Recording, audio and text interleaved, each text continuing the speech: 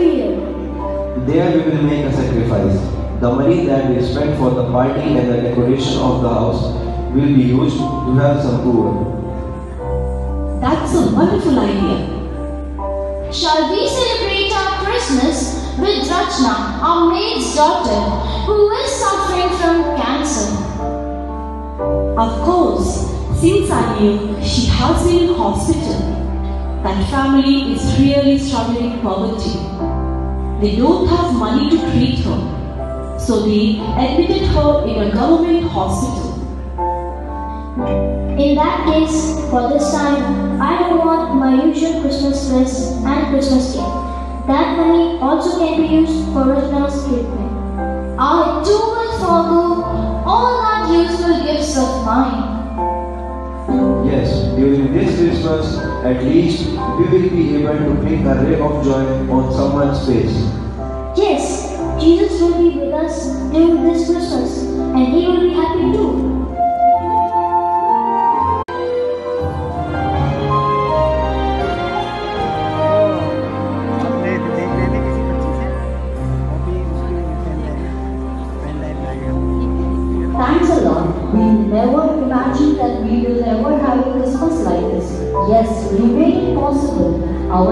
Rachna is so happy and joyful.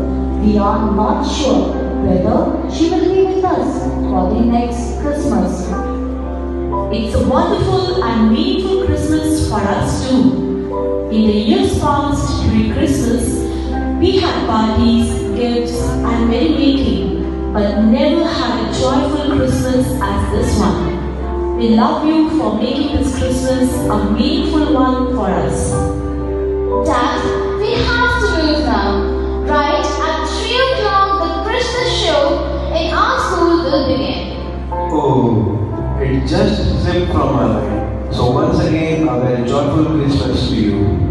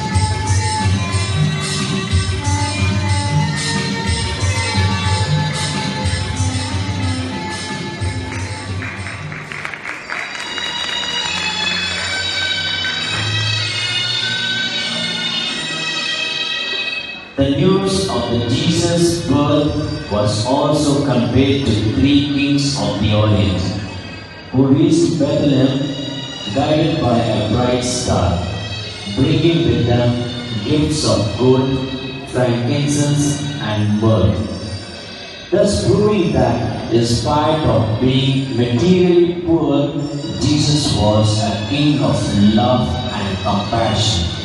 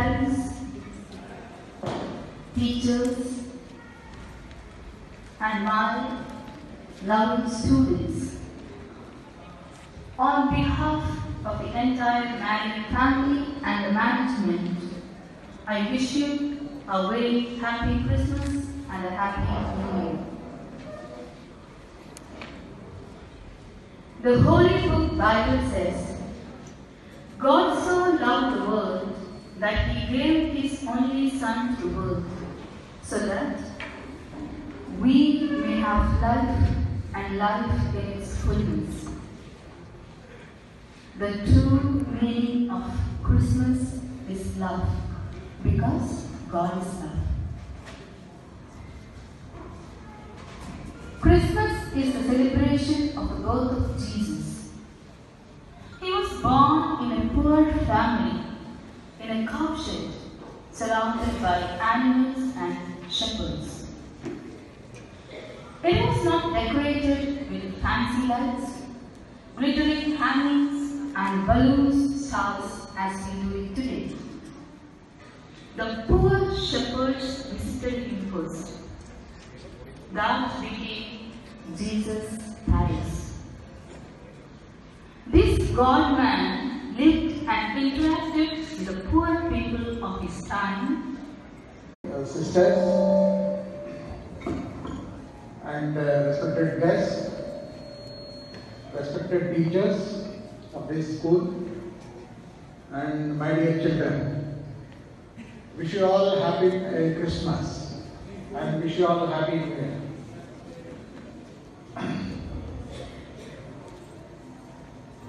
Few- Two days back, sister came to my house and gave a prayers in my house. I felt very happy, and uh, I started my uh, school days with my friend who is a devotee of Christ. Now today he is a father of a church. Few occasions I attended his speeches. One of the points he always used to tell: open your keep, open your doors. Christ may come in the second time. I didn't understand really what exactly it is. For a period of time, slowly I am understanding that whatever we are doing, invest. Whatever you are doing, invest on feet of Christ, so that next time when He comes, definitely He will take us for a what we call. um, okay, um, He will take us to a heaven. So. Uh, this is the point when I am looking into this. One small story I would like to bring here that a father and a son. Son came to his father and asked, Father, 2019. May God bless. Thank you.